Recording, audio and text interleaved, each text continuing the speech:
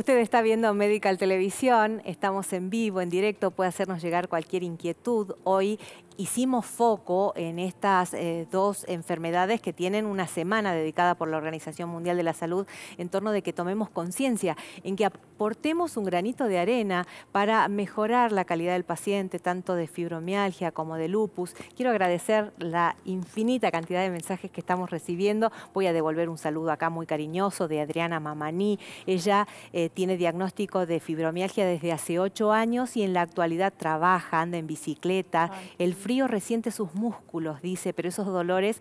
Eh, cuando empieza con la actividad quedan en el olvido. Un mensaje, ahí lo tenemos en pantalla para compartirlo con nuestros televidentes y por supuesto el resto de los mensajes que tienen que ver con fibromialgia que los vamos a dejar porque vamos a entrar de lleno en el tema lupus. Doctora, si me permite, nos presentamos con un pequeño informe y esta afección que perjudica a tantas personas en el mundo. Sí. Lupus, una enfermedad que se presenta cuando el sistema inmunológico del cuerpo ataca los propios tejidos y órganos. Esta enfermedad, que puede presentarse de cuatro formas distintas, lupus eritematoso sistémico, lupus cutáneo, el inducido por medicamentos y el neonatal, afecta alrededor de 5 millones de personas en todo el mundo, en alguna de sus formas, y en la Argentina se estima que uno de cada 2.000 padecen esta patología, siendo más frecuente en mujeres que en hombres.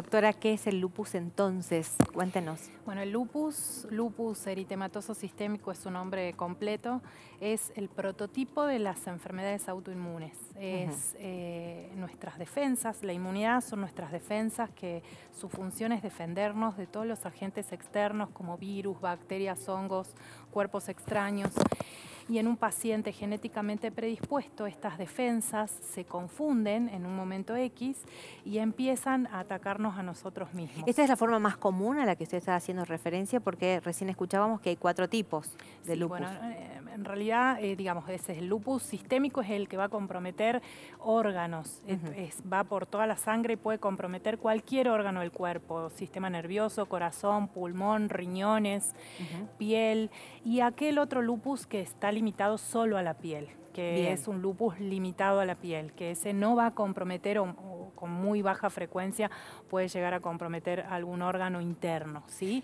el que vemos los reumatólogos, el, lupus limitado a piel, están más abocadas las dermatólogos o los dermatólogos y en, lo que implica al sistema, al cuerpo entero, eh, al sistémico, nosotros los reumatólogos con también nuevamente con, con un equipo interdisciplinario en donde las distintas especialidades de acuerdo a cada órgano afectado es importante el apoyo de un nefrólogo en el caso de compromiso renal, de un neumonólogo en el caso de un compromiso pulmonar son patologías eh, muy duras porque comprometen a, mujeres, la mayor mm, frecuencia se da en mujeres.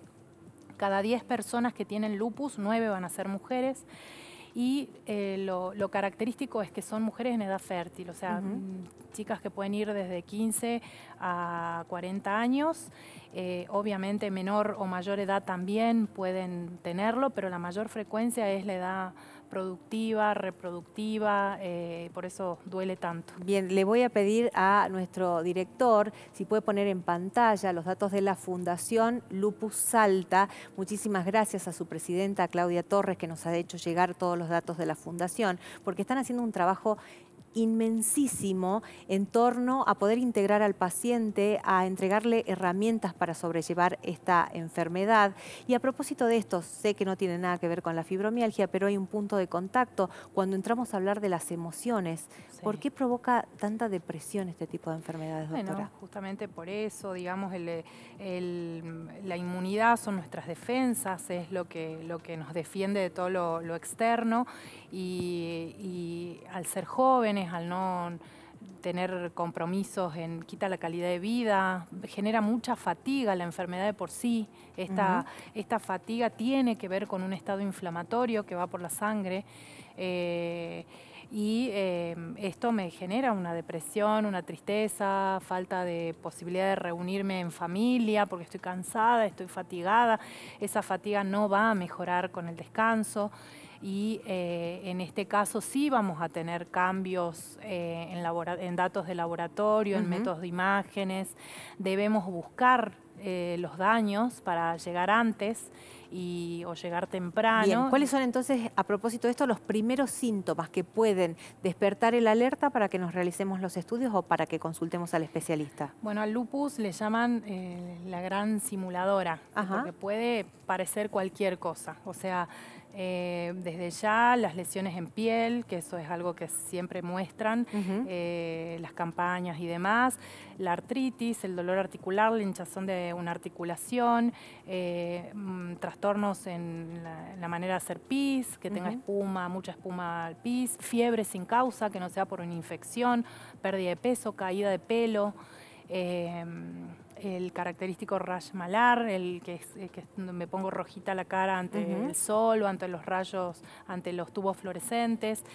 Eh, sin fin, sin fin de cosas que uno debe, ahí el, es un, el médico clínico, el derivador va a ser de gran valor porque es al quien primero le va a llegar un paciente joven eh, con síntomas inespecíficos, en donde eh, bueno, va a tener que tener la alerta de poder derivarlo al especialista. Doctora, tengo una hija adolescente y cuando le, contaba que íbamos a hablar de lupus, me dice, la enfermedad de Selena Gómez, una eh, jovencita, cantante, actriz, que es de referente, ídolo de muchos chicos adolescentes, y me pareció interesantísimo esto, ¿no? De que los chicos lleguen a saber de una enfermedad, a tomar conciencia y también el ejemplo por parte de estas personas de la farándula o que tienen tanta llegada, que son verdaderos influencers, eh, eh, es muy, muy importante, porque se puede desarrollar la vida normalmente. Ella cumplió sus sueños, es este, yo también me encanta su música por mis hijas y este bueno les contaba a ellas que bueno esta chiquita de hecho tiene un trasplante renal digamos secundario a la enfermedad y eh, ella seguramente hizo tratamientos inmunosupresores, seguramente estuvo con corticoides, con medicamentos que muchas veces tenemos que usar, que muchas veces nos salva la vida. Eh, el corticoide se le tiene mucho temor, pero bueno, hay que tenerle respeto y debe ser manejado por, por, el médico que sabe manejarlo, ¿sí? Eh, son patologías fuertes y bueno, el mensaje siempre para mí, todas mis pacientes con lupus, que hoy vi varias, este, ayer fue el día del lupus mm, y, bueno, son unas guerreras, unas campeonas, porque son mujeres jóvenes, que madres como yo, como vos. Y... Ahora, eh, cuando eh, estamos tratando las distintas enfermedades, en este año tan particular, lo asociamos a COVID-19 y en el caso del lupus, con un COVID positivo, los síntomas son más y peores. Sí, en este caso, digamos, la recomendación de la vacunación es eh, fundamental. Eh, no hay, la vacuna es nueva, digamos, como, pero como médica eh, debo decir y apoyar que toda vacuna es positiva. Siempre eh, las vacunas han erradicado enfermedades del mundo y digamos que siempre va a ser mayor el beneficio que vamos a tener al riesgo o potenciales eventos adversos que podemos tener por, por vacunarnos, ¿no? y eh, cuidar mucho a nuestros pacientes que toman medicación inmunosupresora, digamos. Por ejemplo, el lupus necesita en muchas ocasiones dosis moderadas o altas de corticoides, medicamentos que bajan mucho las defensas, están los, los biológicos, otros tipos de medicación que dan cuando hay compromiso renal, pulmonar, que me alteran la, las defensas, la inmunidad, mucho más de lo que en una persona que no tiene esta patología o no toma esta medicación, por lo cual hay que, estar, eh, cuidarlos mucho más eh, y, seguirlos de cerca para, para, tratar de que los síntomas del COVID, en el caso de tenerlos, sean lo más atenuados posible. Bien. Eh, ¿Alguna recomendación más para el paciente de lupus? No, bueno, también yo, yo creo que, al menos en mi experiencia, eh, eh, son pacientes que si se comprometen, si el, familiar los acompaña, logran una estabilidad, logran un bienestar y bueno, y, ya no bajar los brazos, por, ahí son las próximas, Selena Gómez. Y no se olvide que la Fundación Lupus Salta está para atender precisamente y ayudar y contener al paciente, a su familia, brindándole distintas posibilidades para eh, poder sobrellevar y llevar de la mejor manera posible ¿no? esta enfermedad. bueno, yo sigo agradeciendo a eh, nuestros televidentes, una eh, hace referencia a la fibromialgia, los, mensajes siguen entrando, es como que hay más empatía con este problema de la fibromialgia, ¿no? Y de las obras sociales y cómo la obra social atiende la problemática.